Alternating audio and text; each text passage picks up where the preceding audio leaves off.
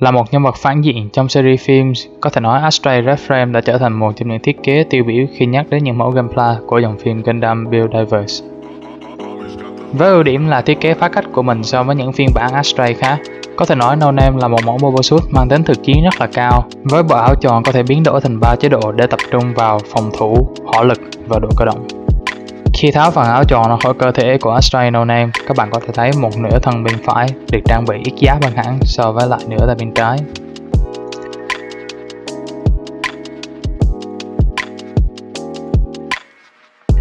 Một điểm nhấn nữa đó chính là cánh tay bên phải đã được biến đổi, tích hợp thêm một beam saber thay vì là một cánh tay để sử dụng vũ khí cận chiến như bình thường. Bộ áo tròn của Astray No Name có tên gọi riêng, đó chính là No Name Unit, hoạt động dưới ba cơ chế. Cơ chế thứ nhất đó là D-Extension hay còn gọi là áo tròn, có tác dụng làm tăng độ phòng thủ của Astray Name, giảm tác động và có một lớp chống biên. Chế độ thứ hai đó chính là B Smart Gun. Ở chế độ này, bộ áo tròn sẽ được biến đổi thành một khẩu rifle để cho No Name có thể chiến đấu ở cự ly tầm trung và tầm dài.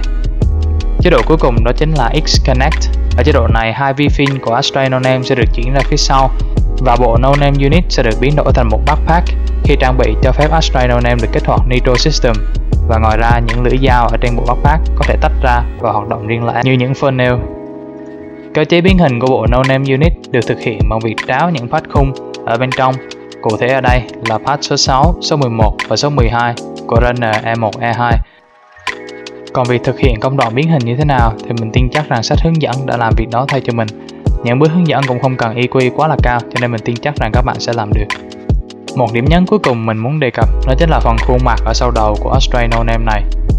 Có thể nói phần khuôn mặt này khá là chìm khi nằm ở dưới lớp clear xanh của đầu em Astray các bạn có thể sử dụng phần đề canh mắt bị dư ra của những mẫu Gunpla Real Grey để tăng thêm độ chi tiết cho khuôn mặt ở phía sau này, như là anh Quang đẹp trai cho mình mượn con Astray No Name này đã làm ở đây.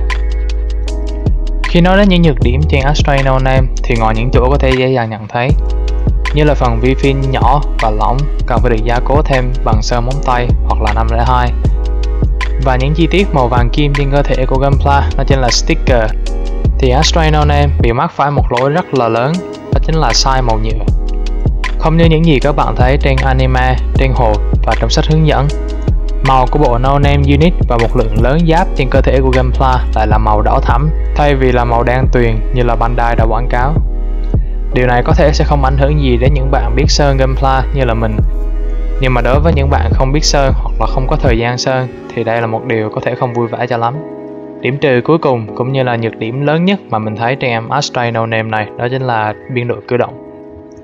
Theo như truyền thống của Bandai, thì sau khi ra một biến thể của một mẫu Gundam thì phiên bản gốc thường được tái thiết kế lại theo phong cách revive trước hoặc là sau với phiên bản biến thể.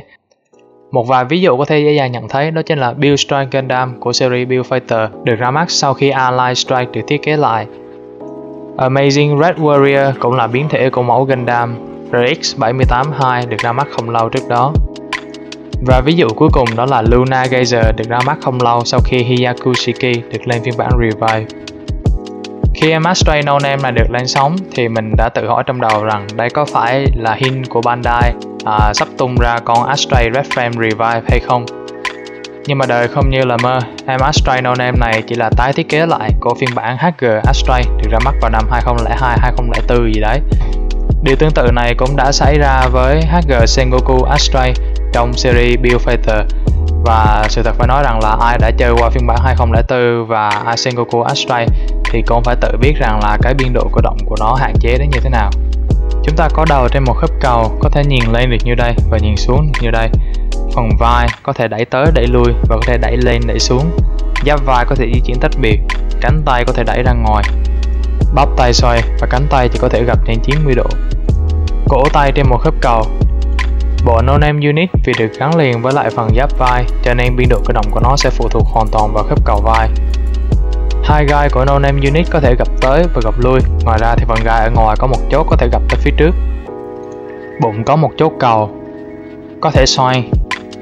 Vái trước đẩy lên, vái ngang đẩy ra ngoài, vái sau cố định Phần háng cực kỳ lỏng của bọn HG Astray vẫn còn nguyên ở đó, chưa mất đi đâu cả, các bạn đừng lo. Chân đá lên tạm tạm, xoạc vừa vừa. bắp chân xoay. Chân gập trên hai khớp nhưng chỉ được 90 độ. Giáp cổ chân. Cổ chân trên một khớp cầu. Và đó là tất cả những gì tôi muốn nói cho con Astray No Name lần này. Có thể nói là trong năm 2018 thì đây là một con hàng phải gọi là rất là có tiềm năng cho Bandai gọi là Best Hanger của năm 2018 luôn á. Nhưng mà thực sự là Bandai lại lười tới cái độ gọi là không thiết kế lại được cái khung của con Astray cho nên là cái biên độ vận động của nó quá hạn chế đi. Chứ thực chất ra thì chứ cái con hàng này thì có thể nói là nó khá là phá cách so với lại những con Astray khác. Và tôi rất là thích cái điều đó. Tôi thích cái concept của cái con à, của cái con Astray No Name này. Nhưng mà nó bị những cái điểm trừ quá là lớn đi. À, sai màu là là trừ điểm của vụ accuracy anime accuracy là một rồi nè đã vậy còn cái vụ à, còn cái khung xương của cùi của năm 2002 2004 nữa. Với lại cái khớp hát nói chung là nó nó là một con hàng rất có tiềm năng nhưng mà Bandai lại không khai thác cái tiềm năng của con đó cho nên là rất là tiếc là con này điểm hoàn toàn không cao một tí nào cả. Đánh giá thang điểm thì tôi chỉ có thể cho em này là 7 trên 10 thôi. À, mình vẫn chưa biết chủ đề tuần tới là cái gì nhưng mà nói chung lại là nếu như có Astray thì mình vẫn sẽ làm Astray tiếp thôi. À, chứ uh, cái view nhìn cái view là thấy hơi bá đạo rồi mấy con Astray tăng view cao vực rồi. À, nhưng mà nói chung là cỡ chủ nhật tuần này thôi là sẽ tạo tôi sẽ mượn tiếp bốn con lại và sẽ tiếp tục tạo poll để cho các bạn uh, vote là để cho con nào sẽ được uh, lên sóng review trước và lên sóng review sau. Thì uh, nhớ uh, bấm đăng ký xong rồi bấm cái chuông để tiếp tục uh, nhận những cái thông tin về kênh review và những những con sắp được review sắp tới. Thì đó là như vậy. Hẹn gặp lại các bạn trong clip sau.